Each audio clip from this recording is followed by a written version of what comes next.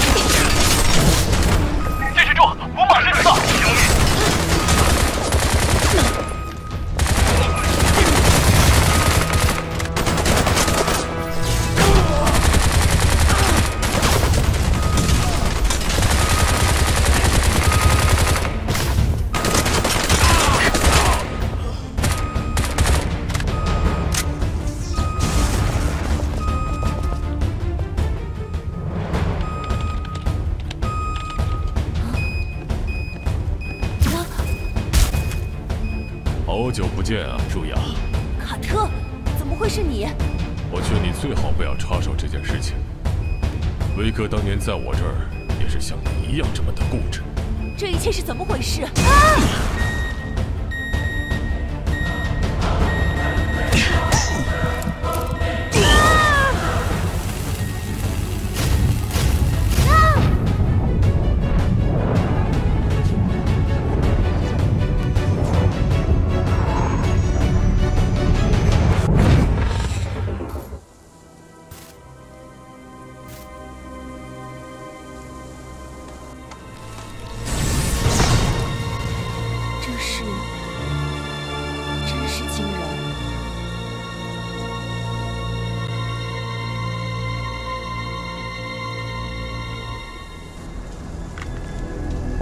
难道就是暗藏在北极边缘的空中大陆吗？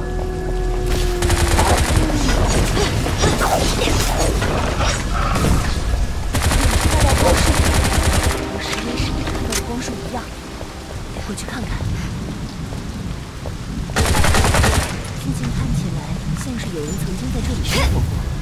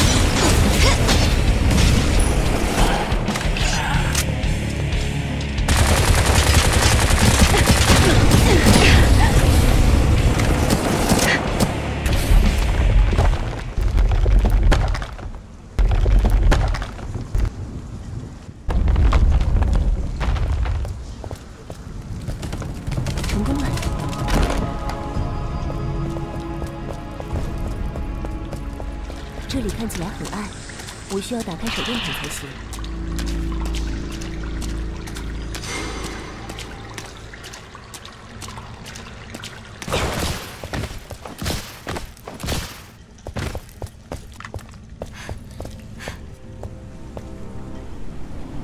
那是凯特的人，看起来他们也发现了那道光束。我得加快脚步。